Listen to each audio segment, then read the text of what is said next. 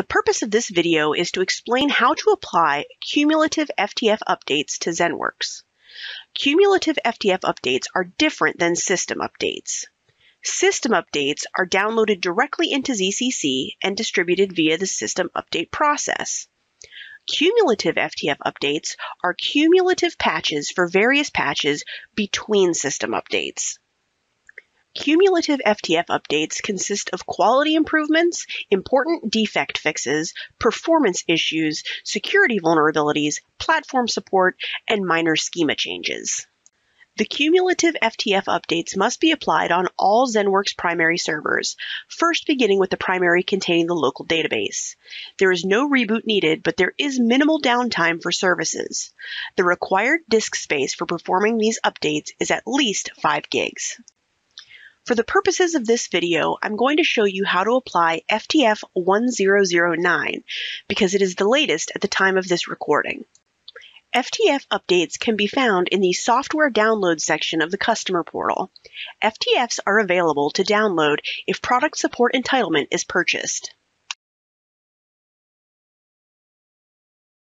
The zip file for the FTF update includes the files for the patch as well as a changelog and a README file that directs you to a web page. Generally, updates are inclusive and installing older FTFs are not required. However, the README file within the download should always be read to ensure that any prerequisites are met. In the case of 1009, it is necessary to first have FTF 998 installed. Let's begin with a demonstration of applying FTF 1009 on a Linux appliance. We will follow the steps in the README file to apply the patch.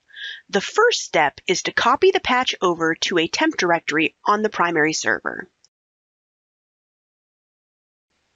We will then navigate to that temp directory and unzip the patch file.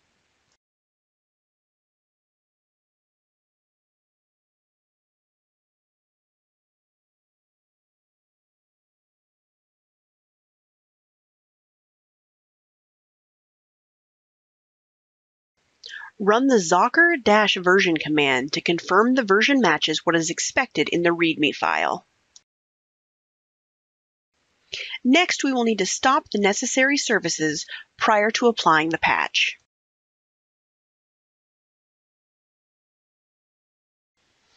Per the FTF documentation, you will run the export command and then the Zocker FTF apply command to begin applying the patch. This process may take several minutes.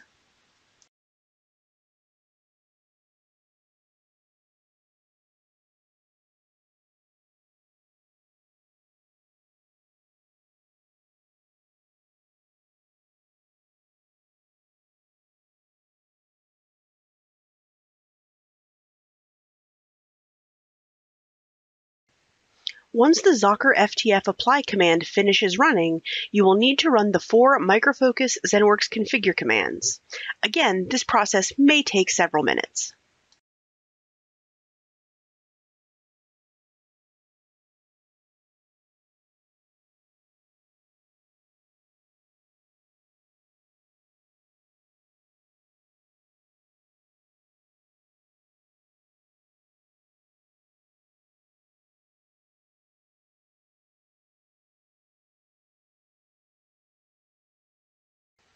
Once all commands have completed, restart the stopped services.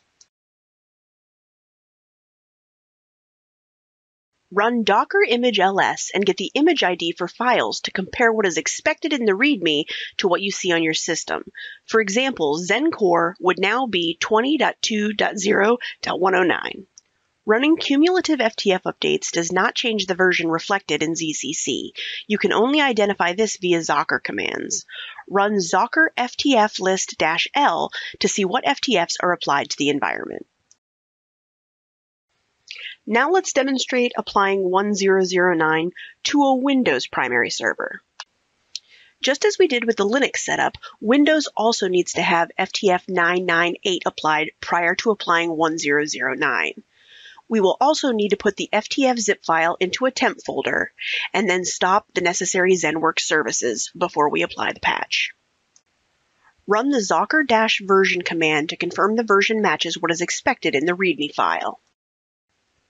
We then navigate to the temp directory where we placed the zip file in the command prompt and run the Zocker FTF apply command to apply the patch. This process may take several minutes.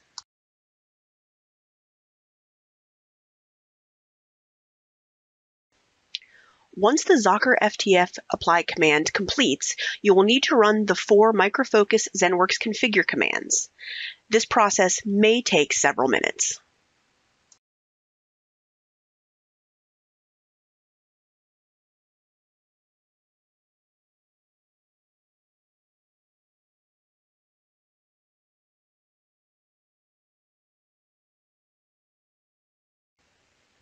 Once all commands have completed, restart the services.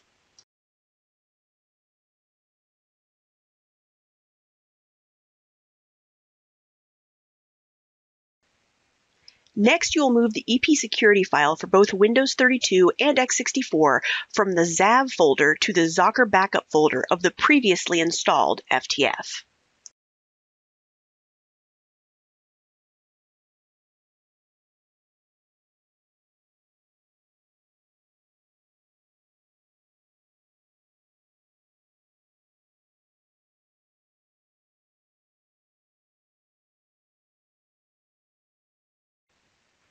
Run Zocker image ls and get the image ID for files to compare what is expected in the README to what you see on your system. For example, Zen core should now be 20.2.0.109.